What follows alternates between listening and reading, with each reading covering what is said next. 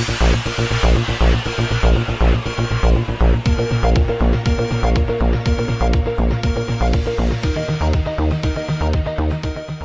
اللہ السلام علیکم، ناظرین، دادو شہر اور گرد و نواح میں مٹی کا طوفان اور تیز بارش ہوئی۔ ہمارے ڈسٹرکٹ رپورٹر غلام ربانی بلوچ کے مطابق مٹی کے طوفان کے بعد ضلع کے مختلف علاقوں میں ہلکی اور تیز بارش ہوئی۔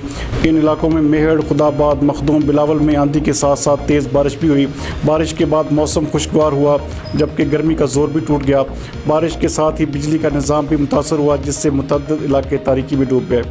ایک اور خبر سے آگاہ کرتے چلیں کہ دادو کے نواحی گاؤں جان محمد لاکھیر میں گھروں میں آگ لگ گئی۔